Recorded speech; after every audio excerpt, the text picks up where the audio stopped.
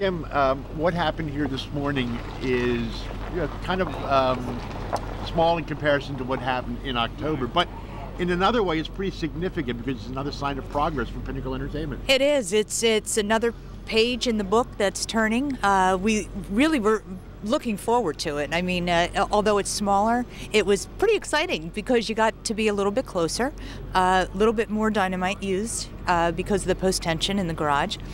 And um, the guys still work just as hard and were as enthusiastic about getting this done. And I say the guys, including the city, the fire and the police and, and, and the, the bomb squad, uh, you know, Department of Labor, they've all been great. And I think they were so jazzed on the first one, they were, they were really looking forward to this one. So then after this, uh, we take the people mover down. Uh, that comes down in about 10 days, uh, two weeks.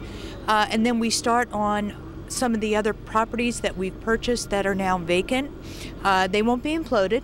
They probably won't be imploded, but they'll be taken down mechanically, and then we'll have to clear the site. So we still have a lot of pages in the demolition book uh, before we get to, uh, you know, our, our next phase of environmental cleanup.